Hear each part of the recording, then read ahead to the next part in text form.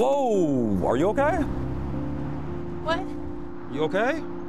Oh, yes, I'm fine. That was a close one. Right. Gotta watch your feet. Oh, you're full of insight. Fuck you too, lady. Next time I hope you fall. No, so what I told them was basically, fuck you, pay me. Oh, hey, I'll be right with you. Yeah, did you get paid? Yeah. That's why you're getting such a fat tip. I'm sorry, but is Stephanie here? Stephanie? Well, Stephanie's left for the day. Shit.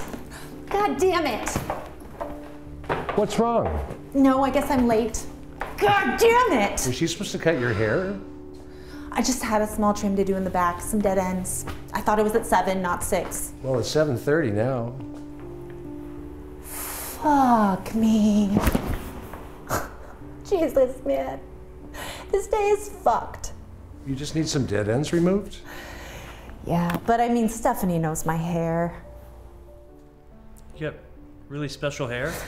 Hey, um, Cam here's all done. I'd be happy to take care of those split ends for you. You really don't mind? I'm done. I really don't mind.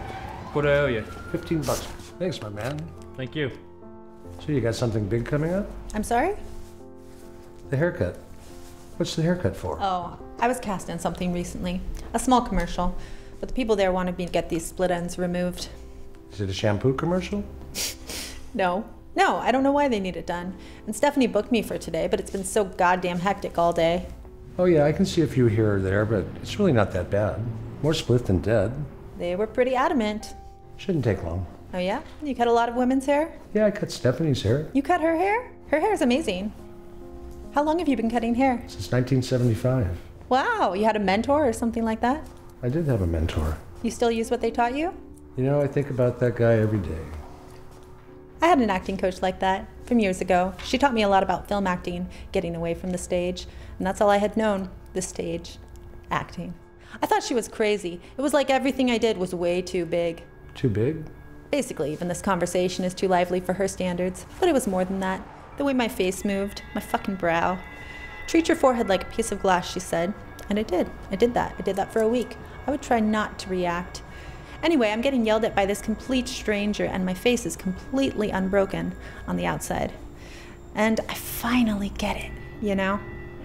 It's the little tics and the eyes. The eyes say so much. But now I'm doing this commercial, and these people want big. They want theatrical. Is it the money? I don't know. I'll take the money.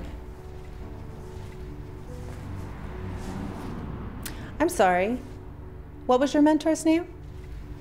His name was Dennis. Uh, taught me everything, everything I know, and I still use everything he taught me today. He was uh, quite an amazing human being, great mentor, great person, uh, and foremost, he was a great teacher. He was uh, truly a one of a kind, and uh, I feel kind of honored that uh, I was able to learn from the best. So I'm happy that uh, I got to be his protege. I miss him. That's really amazing. I'm sorry. I just went on a run on. I just must be nervous. You're nervous? I mean, no? I guess I'm just disappointed in myself. I can see Mrs. Jackson rolling over in her grave. What the fuck are you doing with your life? The money? You need the money? This is art. It's life. It's not to be wasted. Wasted? What does that mean? I mean, she would say that we only get so many faces. We only have so much energy. So why am I doing the commercial? I do the commercial and I become. More commercial. Yeah. That's cool that you get to, uh, you know, make art and stuff, but, uh, you know, what's the commercial for? Oh, I don't want to say. Heck, I'm not even allowed to. And you're sure you want to do it? Believe it or not, we're finished. That was so fast. Yeah, I've done my time. What do I owe you?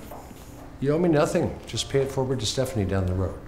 Are you serious? Serious as a drama teacher. Thank you. It wasn't such a bad day after all, was it? Thanks. You're welcome.